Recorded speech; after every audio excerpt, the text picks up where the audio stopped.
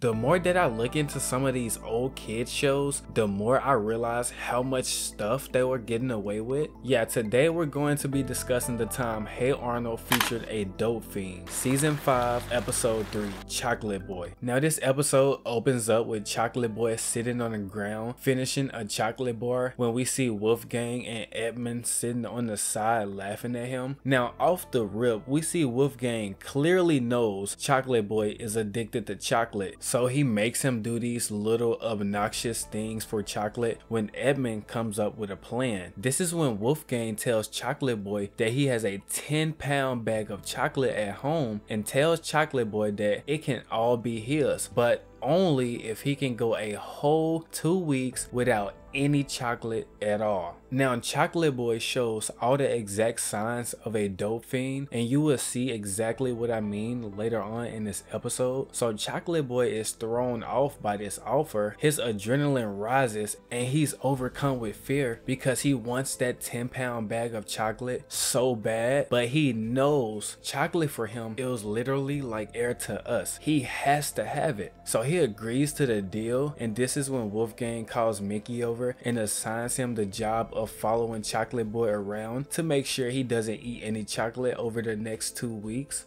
Now, I don't know about y'all, but I for sure wouldn't want this shady guy following me around. The deal would have been off right there. This is when we see montages of Chocolate Boy getting tempted to eat chocolate, but Mickey will always show up and remind him he's watching. So this is when things get interesting when Chocolate Boy stops by Arnold's house and tells him he wants to quit chocolate.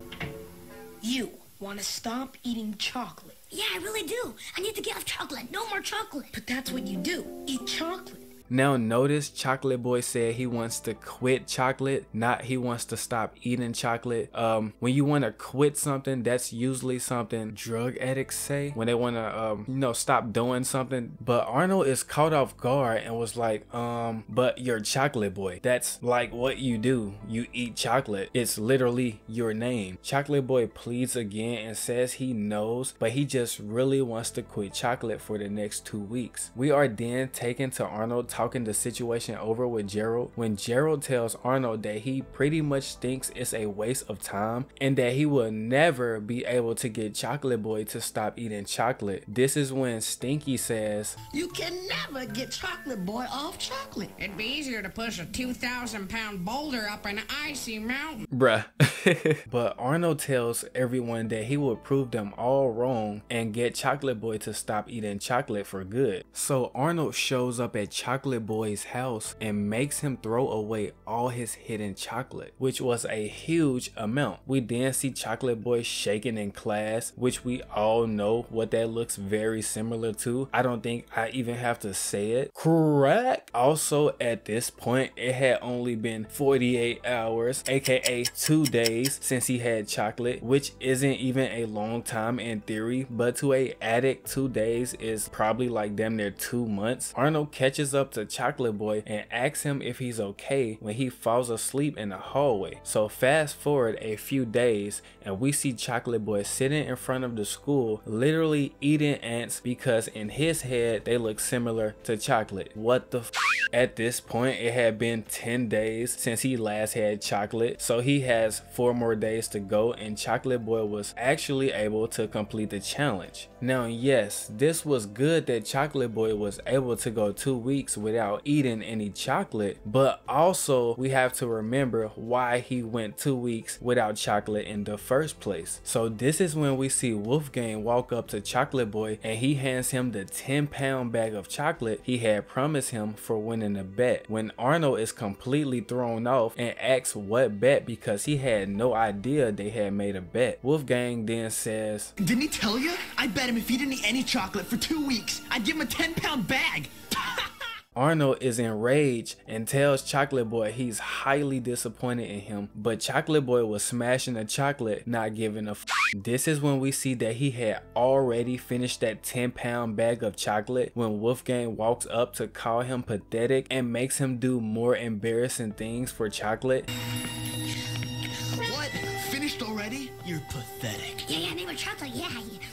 I'll give you more chocolate. But first, you have to do a little dance for us. Now, looking at this scene from an adult's perspective, this is honestly super sad and depressing.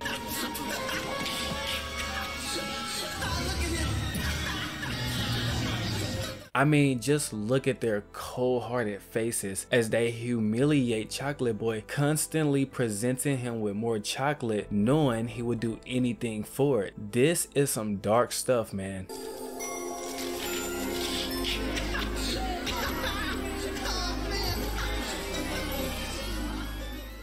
I think it was at this moment when Chocolate Boy knew he had to do something about his addiction before it got worse.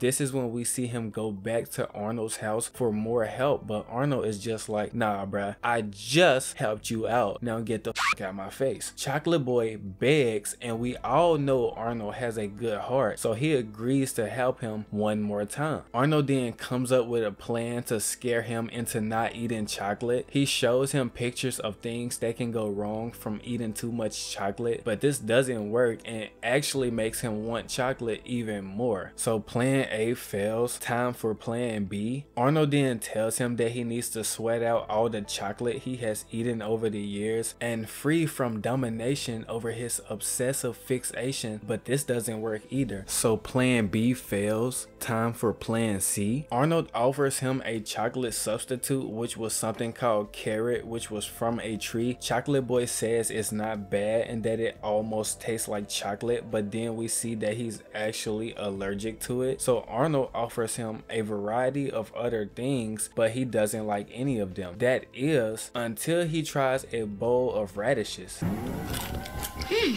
these are okay.